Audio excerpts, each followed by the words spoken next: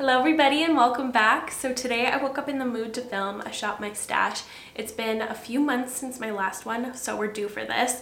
If you aren't familiar with this type of video, I bring you through the process of me picking the products for a specific look I have in mind, or sometimes I try to use the products I haven't used in a really long time and I kind of miss. It's a good opportunity for me to use the products I already have in my collection and use them in a different way or create a fun new look with them. So before we get to the picking process, I would love for you to subscribe if you haven't already and let's get into it.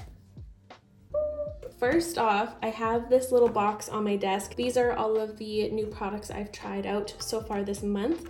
And I feel like I need to try the Milk Makeup Primer once again. I've only used this once so far, so I'm gonna take this opportunity to use it with a foundation I already know and love. So here is my top drawer that contains all of my primers, concealers, foundations, and powders and skincare and a bunch of other stuff. So I feel like I usually grab something from here. So I'm gonna make the effort to use something back here. And the NARS Pure Radiant Tinted Moisturizers kind of catching my eye. I'm gonna pick one of my shades. I don't think I'm gonna be light one, maybe light 1.5 or two. I'll pull both of them just in case. For my concealers, I have two that are kind of popping out at me. This Oma Beauty one I'm just a bit concerned with this one because it is quite full coverage. And I was also eyeing up the Dior Backstage one. I think I'm gonna go with the Dior one. I know this isn't that old, but there's something that's pulling me towards this product. While I'm here, I'm gonna grab my eye primer. This is the About Face smoothing one. For setting powder, I feel like I've been reaching for the same ones a lot, so I wanna use something I haven't used in a minute that can work under my eyes as well as my face. So I think I'm gonna go with maybe the Dear Dahlia one. I was also kind of eyeing this Dior one, but I think that's a little bit deep. I feel more drawn to the Dear Dahlia setting powder. Now moving on to my favorite drawer, can you guess why? This one holds all of my blushes and bronzers. So this is all blush, more blush, highlighters in the back over there, and these are bronzers and I moved my setting sprays recently here. I'm feeling conflicted looking at my bronzers. There's quite a few that are catching my eye right now, like this Trinny London one down there, this Makeup by Mario stick. Oh, this one also is catching my eye. What do I do? Oh, the Saie one, like these are all so nice. I think I'm gonna do a combo. So the swatch on the left is the Saie Cream Bronzer and the one on the far right is the Makeup by Mario Sculpt Stick. I think I'm gonna do a combo of both. For highlighter, I have some that go in the back as well. This one's kind of peeking out at me. It's the Milk Makeup Lit Stick. Now for the hardest decision of them all. What blush do I use? I have such a nice blush collection. It's my pride and joy. I'm trying to pick something else, but this one has a grasp on me right now. It's the Merit Beverly Hills blush. This is where I put things I have not tried yet. I just wanted to show you guys these because I'm so excited about them. And I also wanted to show you that I got the Danessa Myricks Neon Colorfixes. So I'm thinking of doing a little mix of these two to create a more lime shade like my shirt I'm wearing today. And I'm going to grab the shade Lift, which is the white one that I have in my bottom drawer. For my mascaras, I'm realizing I need to get rid of a lot of these. I've had some of them for way too long, but I'm going to use my e.l.f. Big Mood one for my top lashes and my M Cosmetics Pick Me Up for my lower lashes since I finished my Glossier one in my last video. I need an eyeshadow palette to kind of construct this look and this one is perfect. I just need a couple neutrals to balance out what I have in mind. I actually forgot one thing, this. I want this middle shade again. And for my lips, this one is going to suit the Merit blush very nicely. I haven't tried that combo yet. This is the Wet n Wild Mega Last High Shine Brilliance in Clothes Off. Actually, I'm also going to take this out. This is the Rouge Signature Powder Lip Quad. And I think this pink right here will be perfect. I did not hold back today. I have a lot of stuff to play with. So first off, I'm going to be using the Milk Makeup Pore Eclipse primer. This is a mattifying and blurring primer. The first time I used it, I didn't notice much of the blurring properties. I did notice the mattifying ones though, but we'll see how it looks with the tinted moisturizer I'm using today. So I'm gonna take about that much. I kind of squeezed out a little bit more than I wanted to, but that's okay.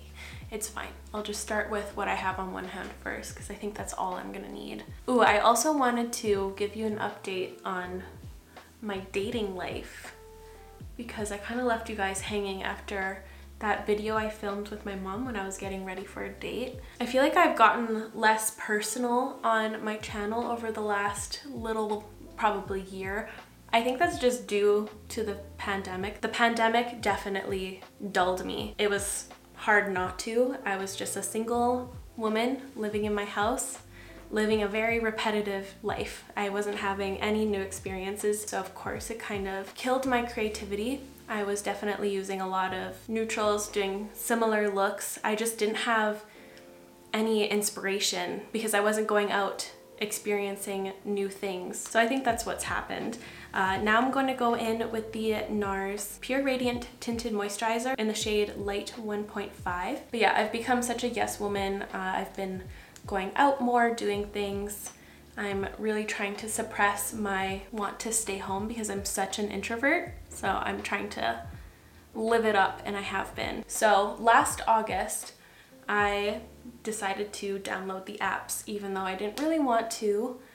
I feel like that's the only way I'd be able to meet new people because the majority of the time I'm just home and when I'm out and about I'm on a mission so I wasn't really meeting new people organically and I just wanted to start dating again because I took a two year hiatus because after I broke up with my boyfriend of a year and a half, I just needed a break to rediscover what I actually wanted and I needed to sit back and learn all of my lessons I needed to learn from that one. There was so many red flags in that relationship. It was very toxic, but I am very grateful for it because I've learned so much through it. So after I dated myself, realigned with what I actually want in a partner and in life, I downloaded the apps and I needed to get one more toxic one out of my system. I was seeing this guy for like six-ish months, but it felt like a long distance relationship. It wasn't really anything serious, even though I wanted it to be which thank God it wasn't because he made me feel very insecure and yeah so thankfully that one came to a close. And then I went on a couple of dates here and there just like one-off dates that were really fun but I didn't really feel a romantic connection. I was really lucky. I had really fun ones that I was able to have really interesting conversations with but they all just felt like friends. And then this guy came around the one I was getting ready for in that video and I really, really liked him. We went on a total of four dates though. The first two afterwards, I was not able to sleep. I was so excited. I'd get like these most intense butterflies, but then something shifted on the third date and I started to like see these subtle red flags. Like I didn't want it to happen, but I was starting to get kind of icked out. I was getting the ick. And I only ever get the ick when I'm unsure about the person. And when I get the ick, I know that that person isn't for me. So I was starting to get that, but I, was kind of scared of getting that because I didn't want to not like him. yeah, there's just like subtle things he would do to make me feel insecure. One of my love languages is physical touch. And when I'm seeing someone, like I'm, I'm not like super handsy. I just like to have like my hand resting on your shoulder. It's nothing crazy. I just like to have a little bit of physical touch. And whenever I'd go in, he would kind of look at me and like do this weird eyebrow thing and he would say, you good? Are you okay? Like just trying to make me feel like I'm doing something really wrong. and I was just like, yeah, are you okay? Like, what are you doing? And he would do it constantly. And he kept doing things like that. On our fourth date, I wore these really cute like yoga pants that have a slit on the side so they kind of look extra flared and he was just like roasting me beyond the point of like it being joking and I was like okay like I get it I don't know it was a little bit weird and then the next day was really telling. Like we were just texting throughout the day. And I gave him an update of what just happened. I was trying to close my blinds in my room and the whole bar fell down and hit me on the head. So I just told him that over text, like, oh my God, I can't believe I, that just happened. And his response was, the major ick for me. He said, Did you install them yourself? And I was like, wow, that is such an interesting response. I was like, there's a lot to unpack there. I'm now going to go in with my Dear Dahlia powder. And I responded something like, oh, that's interesting to me that you go straight to that instead of asking if I was okay. Like, there is not a person in the world that I've ever interacted with that wouldn't immediately ask me if I was okay. Like, I would too. Anyone told me that, I'd be like, oh my god, are you okay? Like, and then he said something along the lines of, did your extensions cushion it or something? And I was like, oh my god, that's it. For, that's it. That's it for me. I just did not respond. This is not gonna go anywhere. So that was that. I'm now going to bronze with the Sun Melt bronzer from Saie in the shade Light Bronze. But even though that was kind of a funny experience, I've been having a lot of fun dating because in the past, I feel like I would fall in love with just any guy who would give me attention. Like I really needed to grow out of needing male validation. So it's been powerful for me to like go on these dates and not immediately fall in love with them and make up a whole scenario in my head like I used to a couple years back. I'm proud of myself for that, that's for sure. But I have another date, I think this upcoming week. It was supposed to be today, but he ended up having to work, so we'll see what happens, but I'll keep you guys updated with that. It's um it's been interesting, that's for sure. But I haven't gone on too, too many. I've been kind of slowly getting into it. Just because after I talk to a guy, I need like a week in between just to like process what just happened and get mentally prepared to have to ask another guy what his favorite color is. I'm really tired of that.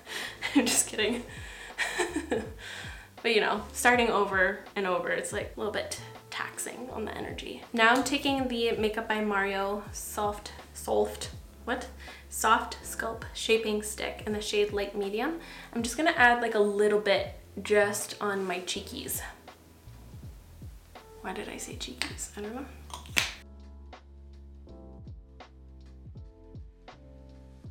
Oh, I just caught a glimpse of this earring. Like I said a couple weeks back, my cats have been in that phase where they just knock off hello anything that's on the edge of a counter and I stupidly went to bed and I took off my earrings and left them in my bathroom just chilling on the counter and one of them of course went down the sink. So I had to learn how to be a plumber today to retrieve it. I'm also now a plumber, but hold the crack because I was wearing a bodysuit.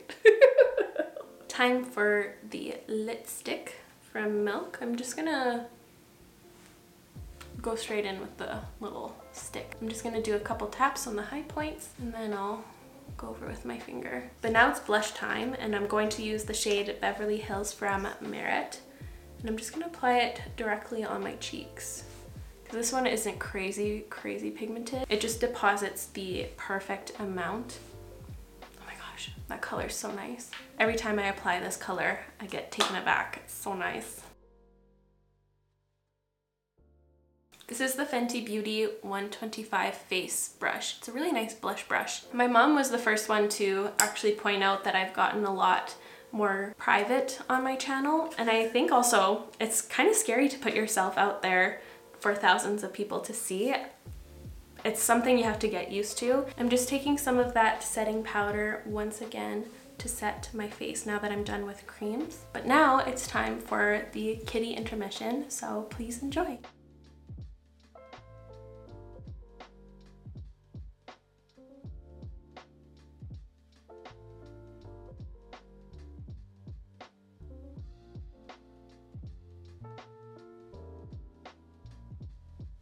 So for my eyes, I do have an inspo photo.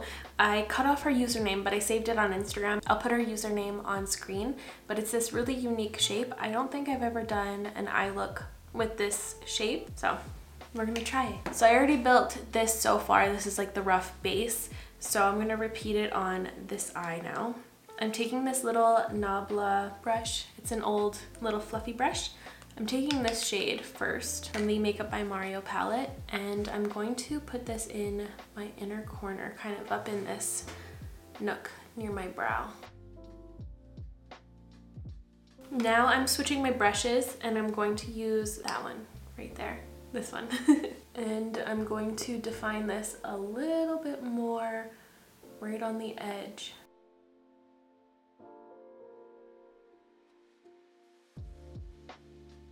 And then I went one step deeper, well, a couple steps. I don't know why I said that. This one.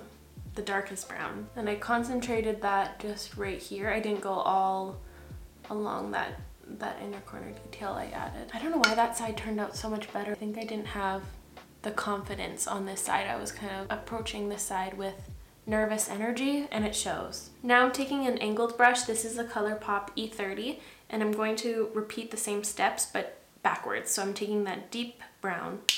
So I want some definition right here. I want this to be exaggerated. So I'm gonna make like a little mini, mini wing. Wiping that brush off, going in with that medium brown. And I'm gonna do a very loose wing. So it's gonna look pretty diffused. And I brought that out further than I usually would as well. Wiping that brush off again, going in with the first one to ultra diffuse this out to make it look smoky. Oh no, I didn't want to do that. It's alright, I guess.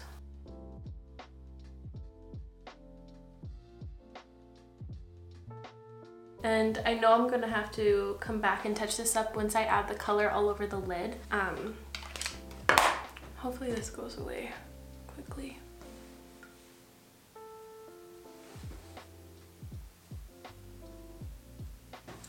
Okay. Okay, let's now mix up a fun color. So I'm going to be taking these three Danessa Myricks Colorfixes, the shades UFO, which is this bright yellow, Wasabi, which is the green, and Lift, which is the white. so I'm gonna take a bit of each on my Milk Makeup palette. So I'm left with this. Those are my proportions. Taking this little Smith 233 See that green is very overpowering. I might add a bit more, I don't know, that's actually really pretty. I think I made the perfect color. Okay, I'm happy with that. I'm going to put that, whoa, that's so vibrant. cool. Okay, I have way too much on my brush. Way too much, way, way, way. I forgot how much the, these um, spread. And I'm placing that all over in the negative space that we left. How did she finish this? Oh, it just like blends into kind of nothingness.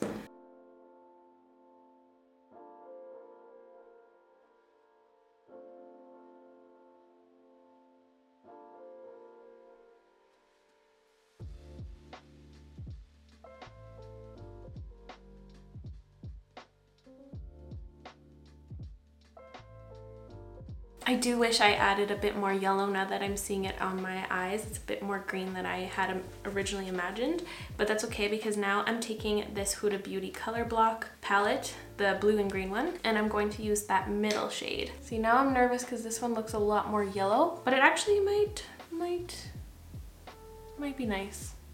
We're good. I'm just going in with a detailed brush around the edges. I was originally gonna do this whole thing with this little brush, but I don't have that kind of patience. I have this Moda eye shader brush.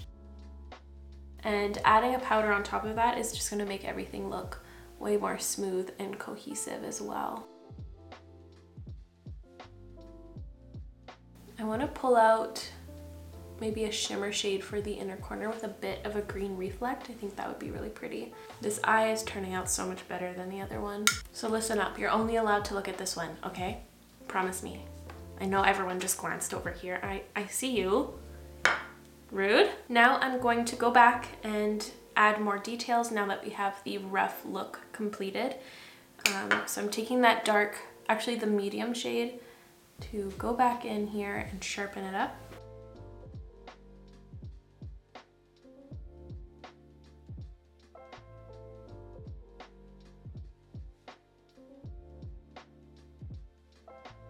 And I'm not sure what to do to like finish off the lower lash line.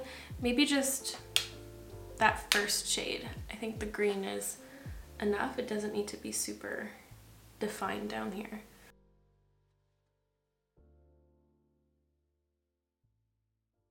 This is so fun. And I also, and I did end up pulling out a little green shimmer. This is the Makeup Forever Starlit Diamond Powder in 106. Ooh. Fun. I'm just going to add my mascara and I'll be right back with the final eye reveal. I feel like Tinkerbell with these eyes on. I want to experiment more with this shape. I think it looks so eye-catching. What do you guys think? Now let's move on to the lips. For my lip liner, I saw this one. I wasn't sure what color to use, but this is About Face Happy Endings.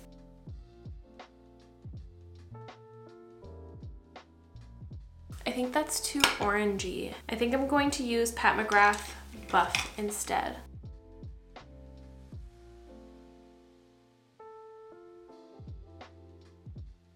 And then I'm going to pat on some of this lip powder.